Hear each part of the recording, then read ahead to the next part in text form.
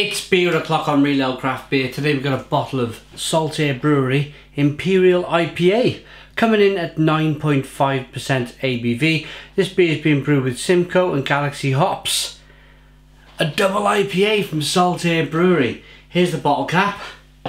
Let's get the beer out into a glass and see what we get. The beer was kindly sent to us by our channel sponsors today, Imperial Beer Club. Imperial Beer Club, if you check their website in the description box of this video, you get 10 beers for £42. And they're all Imperial strength. Here we go. Nice bit of smoke on the opening. Beer in the glass then. And I gotta be honest, I'm really excited about this because um, it's a bit of a nostalgia trip for me. Saltaire Brewery. I remember drinking their Cascade and loving it. Back, I remember when it was. I I had a massive bout of bird flu. I, th I think it was bird, it was either a, a horrible strain of flu or bird flu. I had something for ten days and I I, literally drugged myself to the eyeballs with paracetamol and cocodamol. I remember how bad this cold was. And back then, I was very new to the whole YouTube thing. I didn't have a backlog of videos. So people were like, where, where have you gone? What's happened? And it was just that I had this horrible... I'm sure it was bird flu. It couldn't have been anything else. It was dreadful. I had it for 10 days. And I remember watching Oz Clarke and James May on BBC Two on a beer.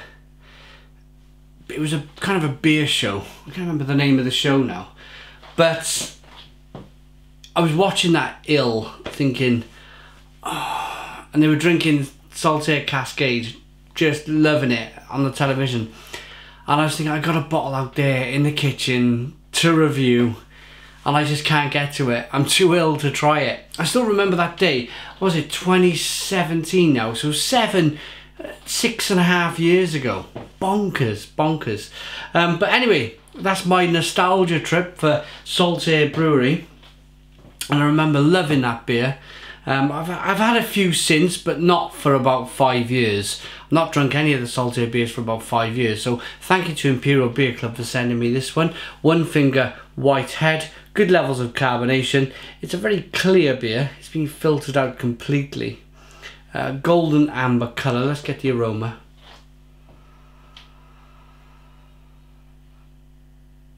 And this can be described from, from my point of view as a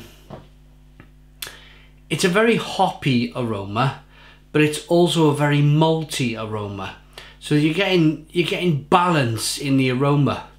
Um, I, I, suppose people who are, get, who are very much into craft beer and they're drinking a lot of Cloudwater, they're drinking a lot of Verdant, uh, they're drinking a lot of these new England IPAs. They probably wouldn't appreciate appreciate this aroma too much.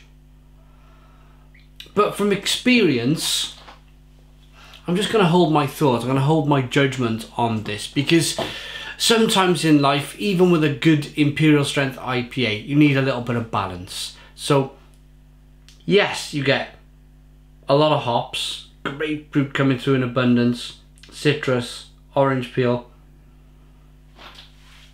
but you also get a whack of, of malted barley as well in there. Biscuity, malty, fresh bread flavours. So if it wasn't for the hops, it would be heading towards a barley wine. Let's dive in. Cheers.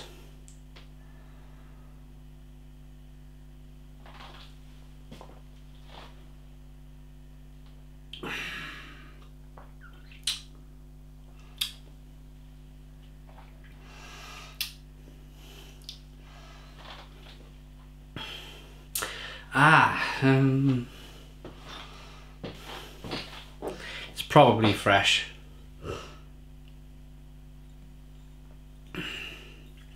When was it bottled?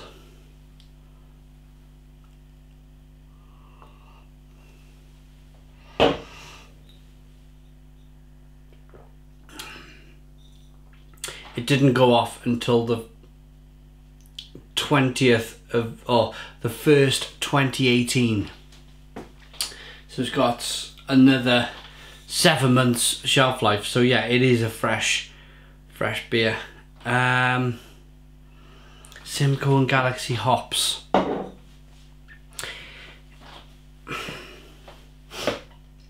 It's not a Stone the Crows beer. It's not. Um, I tried to give the beer the benefit of the doubt in the aroma.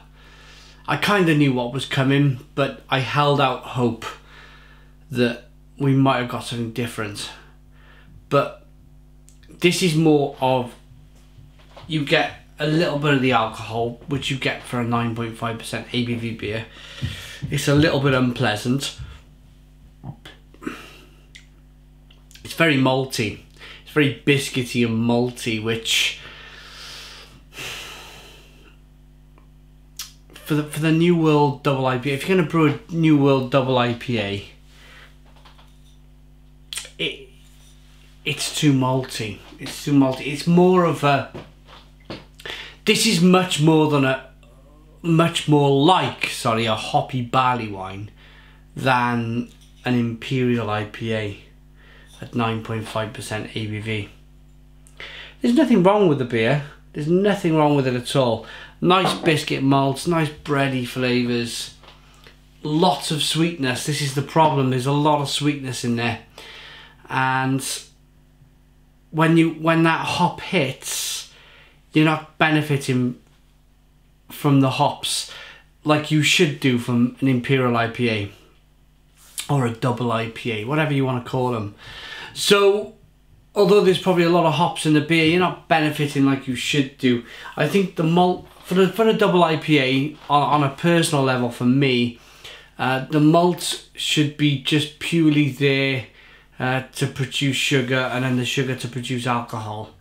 Um, for for a really good abundant juicy double IPA.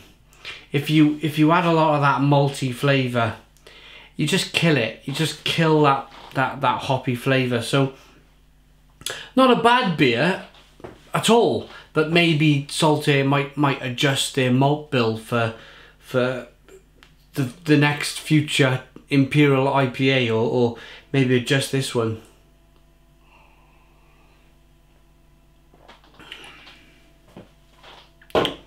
Lots of caramel, lots of biscuit, lots of breadiness, and you I'm going to say it one more time and, and then you're going to start getting bored of me. But yeah, it's just way, way too malty. Um, it's a shame really because we started off with the excitement from from Saltaire Brewery. Um, my, my fantastic experience with the Cascade IPA or the Cascade Pale Ale, I think it might be called. Um, but it, I suppose it just shows how your your taste buds evolve, your flavors evolve. You just you just keep moving along with with what's going on uh, and you just get better and better at tasting beer. I so I reckon if I tasted that beer six years ago, seven years ago, I probably would have loved it, and I wouldn't have, wouldn't have known any difference. But my palate's just got to a level now where I've drank so much beer from around the world. I'm not a beer sommelier. I don't want to be a beer sommelier. Um, I've probably drunk more beer than the, the, the person who invented the whole beer sommelier course. Um, more beer from around the world. So I don't want to, and I'm not knocking it. I'm not knocking the beer sommelier course. Um, but I don't want that, that kind of lettering after my name. I'm not one of those people. Um, I, I've, I've drunk enough beer to know my beer, and, and that's how I work. So, rating for a double IPA. I'm really afraid to say this is a 5 out of 10. It's a 5 out of 10 from Ale Craft Beer. Please put your comments in the comments box. Subscribe to our daily beer reviews. Give us a big fat thumbs up. Boom! And cheers.